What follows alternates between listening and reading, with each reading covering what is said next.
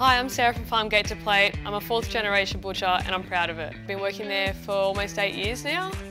All our beef and lamb is free range and grass fed and we like to support a lot of local farmers. We pride ourselves on utilising the whole carcass from head to tail to the point where we render down our own beef fat and make tallow. We use the caul fat to make value-added products with lamb.